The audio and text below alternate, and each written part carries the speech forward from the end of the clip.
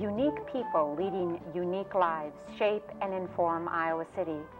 This community is enhanced by these women and men who live in our midst, working, teaching, creating. Welcome to a series of conversations with people who have stories to tell. Join my guests and me, Ellen Buchanan, in a series of interviews called One of a Kind.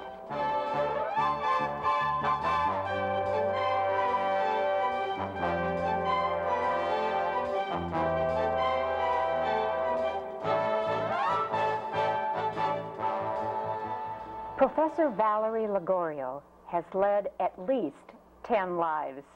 Her vocations and avocations have included student, secretary, singer, hula dancer, musical performer, actress, CIA secretary in Berlin, no less, linguist, disc jockey, nurse's aide, editor, scholar, and teacher. Born in Iowa City, Valerie traveled, lived, and worked around the world. Her father was career military. When she was in her late 30s, Professor Lagorio returned to college, graduated summa cum laude from San Francisco College for Women, and went on to Stanford University to earn her MA and PhD. And in 1972, she came to Iowa City to teach medieval studies at the University of Iowa. Valerie is a winner of numerous academic awards. Two Festschrifts, collections of essays, have been published in honor of her long tenure as teacher and scholar. She won a Best Teachers Award from the University of Iowa. She was the founder of 14th Century English Mystics newsletter and editor of Mystics Quarterly. In 1992, the Valerie M. Lagorio Graduate Student Scholarly Award Fund was announced to honor Professor Lagorio's contributions to medieval scholarship. She has served as a member of many professional societies, served on editorial boards of various publications, authored numerous articles and book reviews. And since her retirement, she volunteers for hospice, is at the Iowa City Senior Center, winning a Senior Center Award, and other community programs. Oh, that was some, that is some life you've led in our leading, Professor Lagorio. And you've come full circle. You were born here in Iowa City. You went away, had adventures, and now you're back working mm -hmm. and, and, and retiring too, and working. Um, what a life you've been living. Tell me a bit about your parents and, and how they shaped you in this adventure. Well, my uh, father was a, um, as you say, a career Army man. And um, my mother was a wonderful classical pianist. And I think uh, it was because of that. My father was not a martinet, but he was a disciplinarian. Mm -hmm. And looking ahead in the years, that's how I ended up going to school and getting all my degrees in four years with um, my father right behind me. But my um, mother was, as I said, a wonderful musician. And uh, when they came, they were both Chicago people, and when they came to Iowa City, my father had been assigned as an ROTC officer. And um, when I came here, I still met some people that remembered him or remembered Colonel Mumma. Mumma? Mumma. And um, we lived in a house on the corner of Court and um, Summit Street, just behind the Adelot House. And I saw it, and then one month later, it was torn down and an apartment building was put up. But I did see the house where we lived. And my mother studied with um, Clapp the whole time she was hmm. here. She was here for four years, had three children, had some wonderful training from Mr. Clapp and went to Hawaii. now you have a sister, who, was she born here also? Yes, my sister and brother were both born here. My sister Antoinette and my brother Tony. Mm -hmm. And they're all out in California now. Then you, after your father's tour kind of up yeah. here was up, you moved on to three or four different places. Yes. Did you look at that as kind of an adventure or did you kind of resent having to move? Oh, no, the, we never, I don't think Army children resented how to, you know, because you have friends wherever you go. Mm -hmm. And I think it helps you um, settle and adapt because you have to do that periodically. I went to what Mother said, 12 schools in eight years. You know, you, you had to do that. However, um, my Army friends are still part of my life. And in fact, my closest friends are still girls that I grew up with at the Presidio when I was 10. And so there's a compensation. But no, it was just uh, my father's career, and we all packed up and, and went. And you ended up in San Francisco. That's where you went to high school? Yes, I ended up in San Francisco. Uh, at that point, my father was stationed at Fort McDowell, which is on Angel Island. So we'd have to take a boat to go back and forth to shore. And every day we stopped at Alcatraz. That was fun. you. What an exciting Yeah, time. Mrs. Capone would be on the boat sometimes, Oh, really? Visiting? visiting. but um, uh, so I went to Lowell High School, and then um, I won a, a full-paying scholarship to Stanford when I graduated. But for many reasons, I decided to go to uh, the San Francisco College for Women, uh, Sacred Heart School, where my sister was going. But you had kind of a burnout after a year and a half. Oh yeah. Well, I'd done nothing but study, I think, and and I burned out, and um, my father was very upset. But my mother said, uh, "Go ahead, Valerie.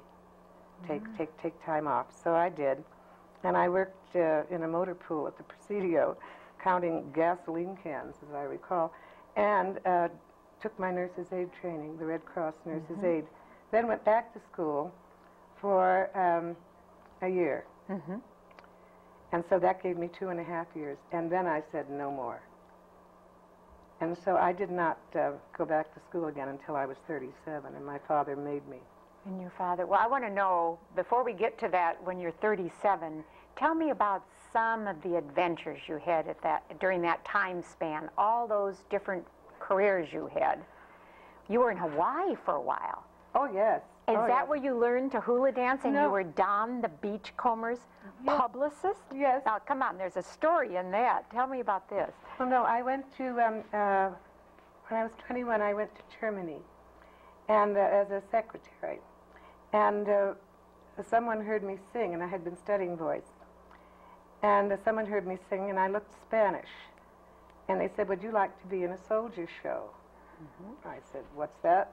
Well, it's this they're- they have a group of talented GIs, and then they would hire these civilian actress technicians, as we were called. And because I looked Spanish and was there, I was Chiquita Banana in a show called Swing Time Fiesta. And um, then because I looked Hawaiian, Hapa Haole, um, I was with the very successful show called Song of the Islands. And um, my name was Uilani. Ualani. Uilani. And does that mean something? I think it means beautiful. I'm not sure, but I hope it does. and I could play a ukulele. And so I learned two hulas and went out on the road with the Song of the Islands and was hoping that no one would ask me for an encore because I only knew two. um, so when I came home from, from Germany, I went over almost immediately to be with my sister in Honolulu. And there I studied with the pupil of Iolani Luahini, who was the great classical hula dancer, and just incredible. And she knew all of the chants and the rest. So that was, it was during that time that I worked for Don Beachcomber, and I was a disc jockey uh, on an armed forces radio station. Did you like that? Oh, sure. oh, sure. I bet you liked everything you, most everything you've, you've tried and uh, experienced. But you know, Ellen, it- it's so strange because, you know, I just happened to be there at a certain time, and, you know, it was not, none of these things were really planned that I could see. But, you know, then when I came home, I studied more hula with a wonderful dancer named Kuchi Kani. And I think she kind of danced in, in local bars, but she was a marvelous repository of the Hawaiian language and of the ancient chants. So that I really did, um, I think, become quite proficient uh, in it. And I, I, I don't do it now, except every now and then at the senior center for, um, For I the give a course. You know, I gave a course. I heard that you get you taught some hula dancing there. Did they enjoy it? Oh, sure. It's like aerobics with a with a beat. Well, with a beat and with a little sway. With a little sway, that's great. Now, when were you the CIA secretary? Well, I, that was in um, 54 and 55, and it was um, uh, uh, in Berlin again. I had been singing when I came back with the San Francisco Opera, in the opera chorus and studying. And I had small, small roles. And then when I was 26, I lost my voice. And I had to have it rebuilt by um, an otolaryngologist and a very good voice teacher in a bel canto tradition. And so at that point, uh, I said, I think I'm going to go back to Germany. And I did, and that's how I ended up in Berlin, uh, which was a fascinating time because there was before the wall, and um, you could, uh, we couldn't go into the east part. The intelligence people could not go into East Berlin, but um, uh, there in the west, they had opera every night. They had three symphony orchestras, and it was the most fascinating city, and the people were wonderful. And so I, I stayed there until my mother became ill, and my father wanted me to come home. But you, but you brought her to your Oh, your mother, yeah. while you were in Berlin. hmm I brought her, and um, then I took her on a tour of Europe, you know, and we went down to uh, Lourdes. And uh, there, uh, mother claims, her doctor did too, it was a minor miracle, because all of the burns that she had from radiation completely disappeared. She took one of the, you know, several of the baths in the in the blessed water, and that trip meant a, that whole experience meant a great deal to her. And then I took her down to um, visit our family in northern Italy, and then down to um, uh, Rome, to Assisi, you know.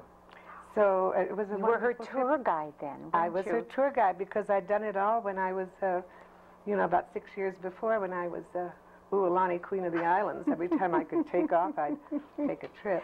I want to ask you when you were during this period in Berlin during the, the Cold War, Mm-hmm. were you ever in danger? Did you ever feel in danger? Well, there were several occasions in which we were told that the um, KPD, the, the communist police, were going to come across in the uh, underground, in the U-Bahn, because you could go back and forth, east and west. And so when this was given, we would um, um, go up and put thermite bombs on top of the safes and set them. And then we would retire uh, to our apartment because there was no way that there would be any um, escape. In West Germany, we used to be put through, you know, have a little bag packed and, and go through a trial evacuation. But there's no place to be evacuated from in Berlin. And we were told that um, they would just pitch barbed wire on and that, that we would be there. So every now and then they'd, they'd tell us to go to the West and, and get a break because it did have its tension. But the uh, city itself was, um, it was, it was really something. And then you came back after Berlin to San Francisco, is that Mhm. right? And uh, you had another interesting job. You worked with immigrants. Or was that Oh, no, no. later on? Was No, there something after that? No, I worked for the American President Lines in the executive office, and then I was um, by General Joseph Swing, uh, who was commander of Sixth Army. I had been. He became the uh, head of immigration, and he called and said, "Would you like to run a program called Port Receptionists?" And I said, "What are they?" Well, he said, "We want to get very pretty." Bilingual young women to welcome people to the United States because this was part of a big uh, Commerce Department campaign. And your languages were Um, Italian? Italian, German, French, Russian, um, Polish, and of course Spanish. Mine were Italian and German. And um, so I, I did that for two years and uh, ran a school for them at uh, Kennedy Airport. It was Idlewild then. And I would get Revlon to come out and make them up and help design a uniform and, and the rest. And it was a, a marvelous program, I thought. Um, but at the end of two years, my father thought that I had been banging around long enough. And my mother had died um, about five years before. And where was he stationed at this At time? this time, he was retired, and we were living in San Francisco. And so he had come home from Japan and retired. And so uh, his project became the education of Valerie. and someone said, How did you finish? How did you finish so fast? And I said, If you had a colonel with his foot in your back, you would too. So here you were fif- uh, 37, excuse me. Yes. And your father is saying, Valerie, I think it's time you finished your college degree. That's right. And so you said, Of course. of course. Okay, he's a colonel. He's a colonel, but you know, he he's a, he was just so delighted I'd be there eight hours a day studying. You know, I hadn't read a good book. I'm going to be honest with you. I hadn't read a good book in, in those years. Mm-hmm.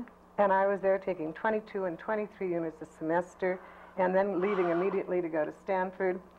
And that was a, I think, one of the hardest things. But he kept saying, aren't you happy, Valerie? Oh, I said, I am. Were just-" you? No, of course not. You're miserable? Well, it was it was it was just such a um, a constant. You know, it was a boom boom. I don't think I learned very much. It seemed to me because I was so pushing to finish. You know, yes, but in in retrospect, yes, I liked it, and yes, I did well. And You got your MA with uh, doing a dissertation on Willa Cather. How did you happen to pick Cather? well, uh, I have always loved Willa Cather. I've read all her works. I think My Antonia will go down in history as one of the finest American novels that there are. Uh, uh, I loved her O Pioneer, Paul's Case, uh, The Lost Lady. I read them, and I became fascinated with her as a moral realist because this is what she was. All too often they say she was reactionary, you know, and she just was looking to the past and everything. But she was a moral realist, looking for the moral realities in life, and a magnificent writer. So I was very glad to do my uh, thesis on her. And then on the master, on the PhD, I did it on Joseph of Arimathea. Um, uh, What, what made, what was the impetus to, to change uh, your direction of, to this time period? ah, well, I think uh, my, my mentor at Stanford, uh, Professor Ackerman, said, Valerie, you can work in six languages, seven languages. And he said, your teleology is medieval. And I said, what's that? What is teleology? Tell our viewers what is teleology. It means last things. And I said, Oh, I said, Do you mean I believe in heaven, hell, and purgatory? Yes, I guess so. And he said, You should be a medievalist. So that's what turned me to um, concentration in medieval studies. And I really, um, uh, I've always been fascinated by the Grail legend. I know we were talking about Jungian um, interpretations of that and the rest. And so I became very interested in knowing why this a very pious Jew, Joseph of Arimathea, got wound up with a big Christian symbol. And that's how I did my dissertation. And during this time period, I read that your father was attending some of your classes and sitting in. Oh, yeah, he's right there behind you. Well, and but he also, one professor said, um, really, Miss Lagorio, this has never happened at Stanford. And I said, well, you know, it's costing him a lot of money. I think I'd like to see that he's getting his, and he agreed that he was getting his money's worth with you, but the 19th century man didn't uh, toe the mark. So, Oh, that's a great story. Oh, yes. Oh, yes. And right during this time, though, he became ill, did he not? yes, yes. And And uh, he, um, he, uh, not seriously ill at that point, but then it gradually got worse. So uh, he came and stayed with me. By this time, I was in St. Louis teaching at the University of Missouri there, and um, then went to be with my sister in Boston at the uh, Naval Shipyard, and finally with my brother out in Los Gatos. So uh, we, we're extraordinarily close family, as, as you can. um, Mhm, I can imagine. Yeah. Mm, I think when you moved around a lot, besides your army friends were good friends of yours, you- must become very close to As your family. siblings. Oh, yes. Tell me just briefly about your sister and brother. Where do they live? Uh, well, now uh, my sister lives out. Um, it's at Aptos. You know, it's about. She said it's a half hour to the Carmel Beach, and um, uh, and she is a Navy widow, and she has three children. Um, little Val, who is getting her doctorate in epidemiology, um, Named after her named aunt. after Auntie. Yes, I'm Auntie Val to everyone. I Auntie think Val. Auntie Val, and then uh, my um, uh, uh, my niece Renee. I helped her go to Cal, and she is now running a program for Alzheimer's patients in um, uh, Santa Cruz. And so, um, and John went to Bowdoin, and he's a sea kayaker. I'm not quite sure where he's going to end up. But the point is, there that that family too is very close. I think we all are. And then my brother had six children, and he's a very successful attorney. And the one thing he wants to do is sail. Oh, Yeah, so good. he has a, a, a beautiful sailing boat called the Endymion. He bought it from um, Stanford. And I think, I think some disgruntled romantic classical scholar or something said, I'm going to give this boat a name, Endymion. Which is, I think, a rather unsuccessful poem by John Keats. If I- Oh, if- if and my brother said, Do you know what Endymion is? And I said, Yes, but I know. I do. but we go out in it. He takes me outside the Golden Gate. He's a wonderful sailor. And he's coming for this wonderful honor that you're going Yes. to have bestowed upon you, Yes. two Festschrifts, Yes. this next week Next in week. Iowa City. Congratulations. Thank you. And that's nice he could be here. Oh, I'm thrilled. Yeah. Yeah, I'm thrilled. How did you get, you were down in St. Louis, and there's another part of your story that you learned to read medieval, uh, medieval manuscripts uh, under a paleo, Paleographer. paleographer. Tell Uh, me about him and his influence on you. And Well, it was great. Uh, it's a very rare thing when you can receive training in this. Um, art. paleo, paleo, paleography is old writing, you know, paleography. And um, uh, my my mentor was a man named Chauncey Finch, who great name. Oh, yes. he was a great classical scholar. And I worked with him very, very often for five years. And then after I moved to Iowa, I went down. And what he did was to, uh, we worked in the Vatican Film Library, which has microfilms of all of the Vatican manuscripts, or the majority of them. And so what you would do is you, you'd look, you'd read, you'd learn to date a manuscript by the writing. And I can do that with Latin pale- in Latin paleography. He, of course, could do Greek as well. But it became fascinating for me just to sit there and to have some uh, some man communicating, some scribe sitting there, and suddenly it's 820, the year 820, and here I am reading it, and there's a bond, you know? There's a bond. Uh, the, the, well, of course, manuscript study, I think, is one of the most important facets of medieval work. And the, I, w- I was never a great textual scholar, but I knew a great deal and I could teach it. So that's where that came. And how did you get to Iowa City? Well, um, it all because of Professor Carl Klaus in the English department. I met him uh, through the Midwest MLA. I was on the board. And um, he came back and he said to John Gerber, I've just met a very interesting woman, and she's a medievalist. And um, so I was invited up to Iowa and um, met John and Peggy Gerber and all of their friends, Ellie and the whole group. And I fell in love with the university, you know, because it's a wonderful place. Mm-hmm. And then I got a telephone call from John Gerber saying, this is kind of iffy, but if, but if we can work things out, would you like to come to Iowa? Mm-hmm. And so that's how it happened. And I bought my little house on Jefferson Street, which was then flooded by Ralston Creek. And you went to the, I read too in your bio that you went to First National Bank and got uh, your loan My loan with from my Bud, from Bud Houghton. And then not only did he give you a loan, but he helped with your flooding of well, your house. It, it, it was just, I had eight feet of water in my basement, all of my library, all Just of when you notes. came? Just three weeks after I came. And I was facing 14 hours of teaching. And, um, but I came down, and here is this black, muddy water. And uh, I went over and stayed with the Klauses. But I heard, and I know, Bud Houghton came over in a pair of tennis shorts and sneakers, and he had commandeered the last pump in Iowa City, and he came out and pumped the water out of my basement. Isn't that And I, something? I just do not. And so I, and the next morning when I came and I saw, you know, the how awful it was, he was there, was all ready to go to the bank, drove up in his big car. Now he said, Valerie, I want to tell you, things are going to be all right. We'll take care of it. Please don't be worried. Oh. Where else could you possibly have that happen? And to this day, I adore Bud Houghton. That's a wonderful story. Did you lose a lot in the flood of your? Oh, yes. I lost all my library. Mm. And I managed to have, I saved two textbooks and um, some of my notes. Mm. And then, you know, the trunks were down there with all the family pictures in them, you know, linens, all the stuff that you put. Yes, that you put in the basement. And it's completely, it was completely wiped out. But um, I survived. You survived.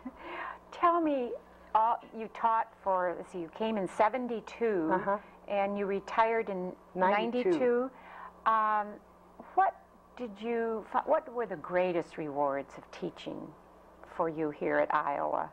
I know you mentored a lot of students and graduate Mm-hmm. students, Valerie, and you made a lot, difference in a lot of young people's lives. Well, What, what did you get from it, personally? well, I think I think the students, the students are everything. Mm-hmm. And then, you know, if you walk in, you're going into a room, Ellen, uh, and you're going to be teaching 30 to 60 students. You know, you walk in and it's showtime, right? And and off you go. But I, I really think um, the interaction with students was one of the greatest things. In fact, of all the careers I've had, nothing. My father was right about one thing. I really love to teach. Mm. And um, so, and I had excellent colleagues. You know, Iowa, Iowa English department is very special. Mm-hmm. And it has a fine national reputation, has very good graduate training and undergraduate, and nice people. It's not a divisive place at all. Mm. And some people say, well, why don't you come back and see us? I said, because when I retire, I retire. That door closes and another's going to open. Mm-hmm. But I certainly can, can attest to the fact that that is the students. It is the students. Absolutely. And then friends that you make in the profession. Mm-hmm. And you were instrumental in getting the medieval studies department to include women medieval writers and historians. Well, yes, um, uh, we have a big, you know, there is a large women's studies group there, but my, mine was the, um, they were the women who were called Christian mystics in the Middle Ages. And they were people like Julian of Norwich, you were asking about, Margery Kempe, uh, Catherine of Siena, Hildegard of Bingen, all of these great women, and there were some men too, but uh, the point is that none of that had been offered at, at in, in any like medieval department. And here these people are writing some of the most beautiful language, the most beautiful works, and they had sort of been set aside, you know, for theologians. Well, I said they're not writing for theologians; they're writing for people like you and me. And so, therefore, with that Rita Mary Bradley, uh, a nun from St. Ambrose, we founded this um, this newsletter and worked constantly to bring this material into academia, to make it part and parcel of academic studies. Mm-hmm. And we did it. And now there's a whole group of young, wonderful scholars who are devoted to this. Isn't that? And Hildegard is, I mean, you walk into any record or store Isn't and there's marvelous? chants and, I mean, it's it's coming. Well, it's coming, Valerie. It's coming. It's coming. Also, she has um, she has um, a book on medicine, and she has uh, wonderful uh, visions, and oh, she's wonderful, wonderful. How do these Christian mys- mystics speak to us in 1995? What do you think their message is, or do they have a message? Oh yes, I, I think they have. Um, I think the whole the whole group. Uh, we're going we're, we're going through. At least I see it as a spiritual revolution now. Uh, really, and it wasn't just the age of Aquarius in the '60s, but I'm sure in so many ways. I think um, uh, we're looking for meaning. We're looking for answers, and I like to think it's because this is an apocalyptic age, Ellen. We're approaching what the year 2000, right? Necessarily. And so, what these people have, it is a message of hope, it is a message of love, um, uh, it is, it is a, a message about the centrality of, of God to one's life.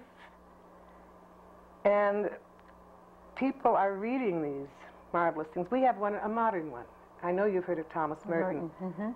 Well, I think I've read everything of Thomas Merton's. And what he says about the prayer life and the mystical life is the same as they said back in the 12th, 13th, and 14th century. They're all describing the same um, miraculous level of prayer. And I just like to think that their, their message is one really of hope and purpose. And I think it is. Your eyes light up. I can see this means a lot to you, this, this Oh, yeah. uh, study for you. Uh, My last question is you've retired and so you've opened up a door to your whole a whole new adventure for you and I know you are at the senior center giving lessons and lecturing on on King Arthur Yes. and uh, you've done hospice work and peer counseling. Tell me what this has meant to you, this volunteer work now in the community. Well, I I feel um, I feel the most important thing in the world is to be needed, and I think that is what makes people happy. And um, I certainly wanted to find ways in which I would be needed, and so I started hospice about ten years ago, and I still continue that. And then I went to the university hospitals and uh, talked to the chaplains there. And so I'm a, a chaplain's assistant and work two and three days a week at university hospitals. What do you do? Well, I, I, I go and visit. I go and visit the parent and get, visit the patients, but I also bring um, the Eucharist. I can be a Eucharistic minister, and so I do that. And then the peer counseling is a program by the Johnson County Mental Health um, Service, and it's run by Kathy Wallace. I, I, you probably know her, who is a marvelous young woman. And we are given clients. We're trained for 10 weeks and then given clients. It's 55 and over. And you listen to them and try and, and be someone who can help them through various crises in their lives, such as, um, again, leaving a home and going to a nursing home, or uh, family problems, or poor health, whatever it is. And then, of course, you, you're with them. You meet with them once a week. And then uh, you always have a backup with trained people. So, and at the center, I've taught um, King Arthur and Chaucer in Middle English and Dante's Inferno. and here are 18 The big questions big of life. questions of I- life. And I How are we to live? What are Yes. we to do? But you know, I, I just said, well, no one's going to want this. But I had 20, 20 students in each class. And um, Betty McAllister, whom you know, wrote this article saying she called me her beloved preceptress, whatever that is. And it was so, but she said, just because you're growing older physically certainly does not mean that you are growing older mentally. And what most of them, what, um, what these women all wanted was very, very serious topics for study.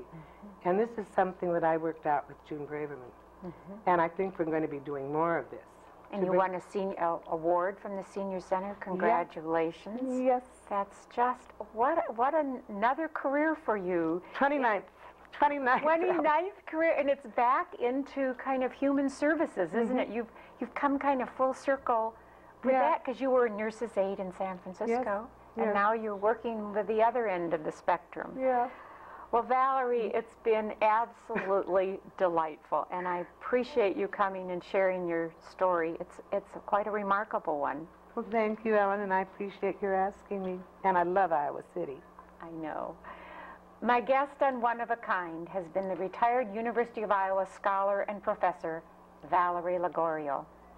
In a testimonial speech in her honor, the following words were spoken, and I quote We remember best her tireless efforts to make translations and editions of medieval works available to both scholarly and popular audiences, her mentorship of young scholars and graduate students, her encouragement of innovative scholarship of all types, her warmth, her humor, her zest, and intelligence. End quote. What more can one say? Valerie Lagorio is one of a kind. Hmm.